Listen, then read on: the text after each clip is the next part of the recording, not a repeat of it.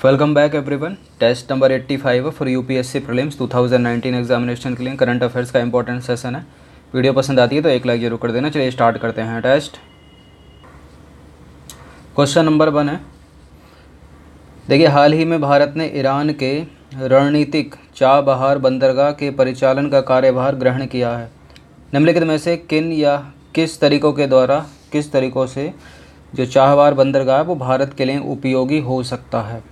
पहला है, यह भारत को पाकिस्तानी मार्ग का प्रयोग किए बिना अफ़गानिस्तान तक माल भेजने का अवसर प्रदान करता है।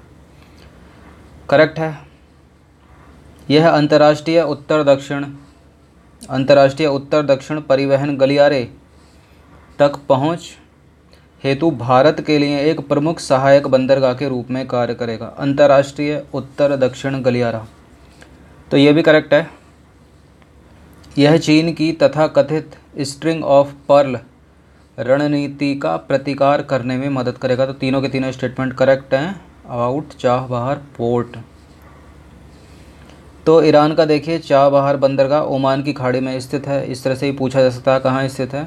और यह देश का एकमात्र समुद्री बंदरगाह है इसका, ईरान का। चाबहार बंदरगाह के क्रियाशील होने के बाद भारत बिना पाकिस्तानी मार्ग का प्रयोग किए अफ़गानिस्तान को माल की पूर्ति या पूर्ति कर सकता है। अंतर्राष्ट्रीय उत्तर दक्षिण गलियारा क्या है? भारत, रूस, ईरान, यूरोप और मध्य एशिया के बीच माल की ढुलाई के लिए जहाज़, रेल और सड़क मार्ग का एक बहु रूपात्मक परिवहन तंत्र। और स्ट्रिंग ऑफ़ पर्ल्स क्या है?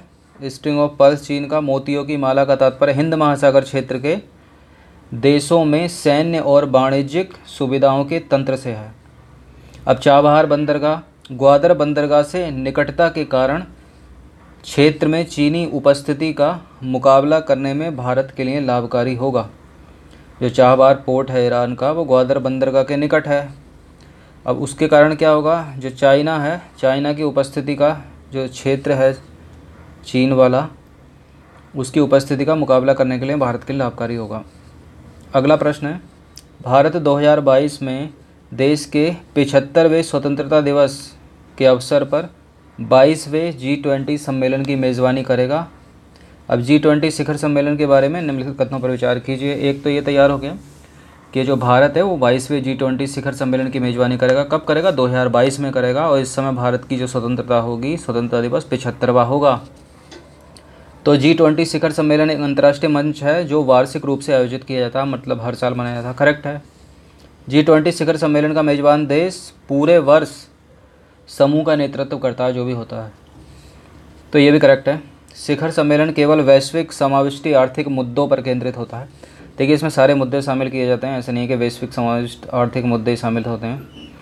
इसमें हर सारे मुद्दों पर चर्चा होती है कि जैसे सैन्य उपकरण आदान प्रदान और फिर भ्रष्टाचार से निपटना, सारे मुद्दे होते हैं। कुपोषण से निपटना और वैश्विक ग्लोबल वार्मिंग पर्यावरण, संतुलन, पर्यावरण प्रदूषण सब आता है इसमें। तो पहला और दूसरा करेक्ट हो जाएगा केवल, पहला और दूसरा। तो जी ट्वेंटी शिखर सम्मेलन न केवल व्यापक आर्थिक और व्यापारिक बल्कि वैश्विक मुद्दों की एक विस्तृत श्रृंखला है, जिसमें विकास, जलवायु परिवर्तन और ऊर्जा, स्वास्थ्य, आतंकवाद के विरोध के साथ साथ प्रवास एवं शरणार्थी संकट पर भी ध्यान केंद्रित किया जाता है। मतलब अधिकतर सभी आ गए। जिनका वैश्विक अर्थव्यवस्था पर व्यापक प्रभाव पड़ता है। जी ट्वेंटी शिखर सम्मेलन का मेजबान देश दिसंबर से लेकर अगले वर्ष के नवंबर तक एक वर्ष के लिए जी ट्वेंटी के अध्यक्ष के रूप में नेतृत्व करता है। अगला प्रश्न है टेली रोबोटिक सर्जरी के संदर्भ में निम्नलिखित कथनों पर विचार कीजिए। टेली रोबोटिक सर्जरी में रोबोट के माध्यम से नियंत्रित उपकरणों का प्रयोग करके दूरस्थ स्थान से रोगी की सर्जरी की जाती है। फॉर एग्ज़ाम्पल यहाँ पर टेली रोबोट है, यहाँ पर पेशेंट है, जो मेन डॉक्टर वो वहाँ गया है। देश से बाहर है तो यहीं से बताता है उसको, तभी ये सर्जरी करता है। इस तरह से चलता है और भारत ने हाल ही में टेली रोबोटिक कोरोनरी सर्जरी करने वाला विश्व का पहला देश बन गया है। तो करेक्ट है, बहुत बड़ी बात है। दोनों के दोनों स्टेटमेंट यहाँ पर करेक्ट हैं टेली रोबोटिक सर्जरी के बारे में। तो टेली मेडिसिन चिकित्सा विज्ञान के साथ सूचना और संचार प्रौद्योगिकी आईसीटी के प्रभावी संचलन से उत्पन्न स्वास्थ्य विज्ञान में एक आगामी क्षेत्र है। टेली रोबोटिक सर्जरी में रोबोट के माध्यम से नियंत्रित उपकरणों का उपयोग करके दूरस्थ स्थान से रोगी की सर्जरी की जाती है। भारत मानव पर एक टेली रोबोटिक कोरोनरी सर्जरी करने वाला विश्व का फ़र्स्ट कंट्री बन गया है। अगला प्रश्न है। गवाह संरक्षण योजना 2018 के संदर्भ में निम्नलिखित कथनों पर विचार कीजिए। इस योजना में खतरे की धारणा के अनुसार गवाहों को तीन श्रेणियों में विभक्त किया जाता है। करेक्ट है, पहले भी सॉल्व करा चुका हूँ क्वेश्चन भारत की संचित निधि के अंतर्गत एक गवाह संरक्षण कोष स्थापित किया जाएगा। देखिए, गलत है। गवाह संरक्षण निधि, गवाह संरक्षण योजना के अंतर्गत संचित निधि से नहीं, अलग से ही गवाह संरक्षण कोष स्थापित किया गया है, जिससे इसको प्रोटेक्ट किया जाएगा। तो संचित निधि नहीं है, गलत है, केवल पहला यहाँ पर सही हो जाएगा। तो गवाह संरक्षण योजना में गवाहों के जीवन के खतरे के आधार पर इसे तीन श्रेणियों में बांटा है। श्रेणी ए है, श्रेणी बी है, श्रेणी सी है। श्रेणी ए में क्या है? ऐसे मामले जिनकी जाँच के दौरान या जाँच के बाद गवाह या उसके परिवार के सदस्यों को जीवन का खतरा है। ऐसे मामले जहाँ जाँच के दौरान या मुकदमे के विचारण के दौरान गवाह या उसके परिवार के सदस्यों की प्रतिष्ठा, सुरक्षा और संपत्ति को खतरा है। ऐसे मामले जहाँ गवाह या उसके परिवार के सदस्यों पर जाँच या मुकदमे की सुनवाई के दौरान प्रतिष्ठा या संपत्ति के उत्पीड़न का खतरा है। राज्य और केंद्र शासित प्रदेशों द्वारा एक गवाह संरक्षण कोष स्थापित किया जाएगा दोनों के द्वारा, और कार्यक्रम के लिए आवश्यक खर्च इसी कोष से आयोजित होंगे। अगला प्रश्न, प्रत्येक 6 दिसंबर को निम्न में से किसकी पुण्यतिथि मनाने के लिए महापरिनिर्वाण दिवस मनाया जाता है? तो देखिए, जो महापरिनिर्वाण वैसे जो किया गया है, जो कहा गया है, अपने मध्यकालीन भारत में प्राचीन कालीन भारत में, वो गौतम बुद्ध की मृत्यु को कहा गया है। लेकिन यहाँ छः दिसंबर को भीमराव अंबेडकर की पुण्यतिथि में दिवस मनाया जाता है छः दिसंबर को महापरिनिर्वाण। तो प्रत्येक छः दिसंबर को डॉक्टर भीमराव अंबेडकर की पुण्यतिथि के रूप में महापरिनिर्माण दिवस मनाया जाता है। डॉक्टर भीमराव अंबेडकर को भारतीय संविधान के पिता के रूप में भी जाना जाता है, father of Indian constitution Bhimrao Ambedkar वह एक न्यायवादी, अर्थशास्त्री, राजनीतिक एवं समाज सुधारक थे। एक ही आदमी में चार चार क्वालिटी चलिए अगला प्रश्न है। निम्नलिखित में से कौन ग्लोबल क्लाइमेट रिस्क इंडेक्स जारी करता है? तो ये करता है जर्मन वॉच कौन करता है global climate risk index German watch तो ग्लोबल क्लाइमेट रिस्क इंडेक्स 2019 में इसका विश्लेषण किया जाता है कि मौसम संबंधी नुकसान की घटनाओं का देशों और क्षेत्रों पर किस हद तक प्रभाव पड़ा है। यह रैंक वर्लिन स्थित एक स्वतंत्र विकास और पर्यावरण संगठन जर्मन वॉच द्वारा जारी की जाती है। कहाँ पर स्थित है? वर्लिन स्थित। स्वतंत्र विकास और पर्यावरण संगठन जर्मन वॉच। सातवां प्रश्न है, हाल ही में समाचारों में रहा पद क्या है? परम ईशान संबंधित है। किससे संबंधित है? देखिए, जहाँ परम आ जाए ना, जहाँ परम आ जाए, वो लगता ही है वो कंप्यूटर ही होगा। परम।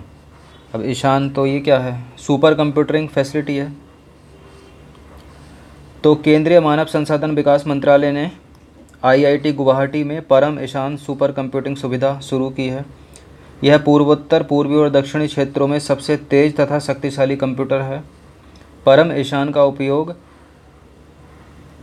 कंप्यूटेशनल केमिस्ट्री और civil engineering structure nano block self assemble optimization आदि अनुप्रयोग क्षेत्रों में किया जाता है।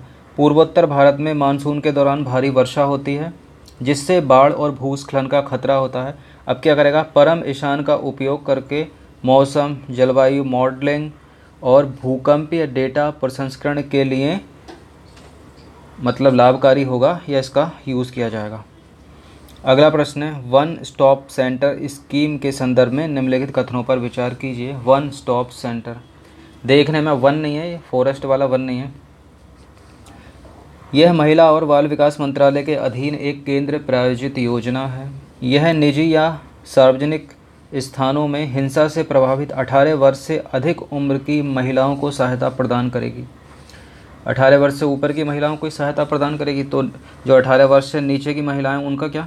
गलत है स्टेटमेंट यह योजना निर्भया फंड द्वारा वित्त पोषित है।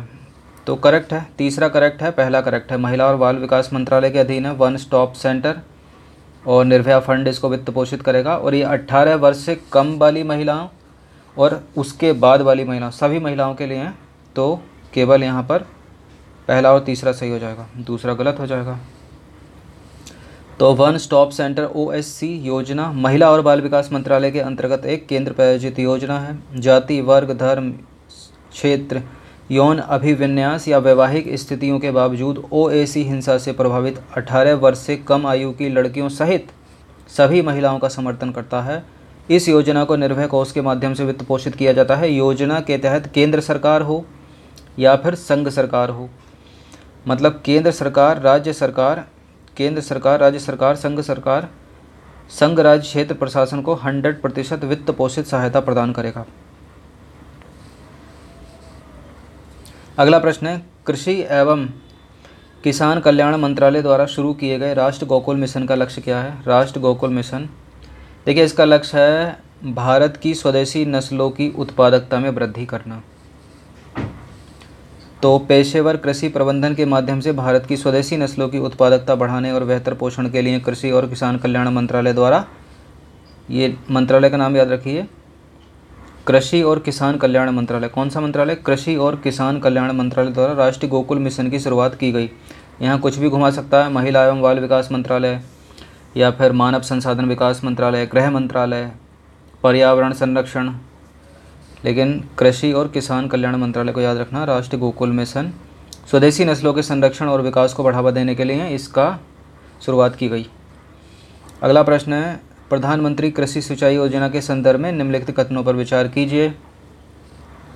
इसका उद्देश्य सूक्ष्म सिंचाई एवं अन्य जल बचत प्रौद्योगिकी के अनुसरण को बढ़ाना है। सूक्ष्म सिंचाई करेक्ट है, ताकि पानी कम बर्बाद हो। यह मिशन मिशन जल संसाधन, नदी विकास और गंगा पुनरुद्धार मंत्रालय द्वारा संचालित है। यह खेत के स्तर पर सिंचाई के में निवेश को बढ़ाता है। तो तीनों के तीनों स्टेटमेंट यहाँ पर करेक्ट हैं। प्रधानमंत्री कृषि सिंचाई योजना मतलब पानी की कम बचत, बर्बादी के लिए सूक्ष्म सिंचाई करो, सहायता देगा, जल संसाधन, नदी विकास और गंगा संरक्षण मंत्रालय, और खेत के स्तर पर सिंचाई में थोड़ा निवेश को बढ़ाओ।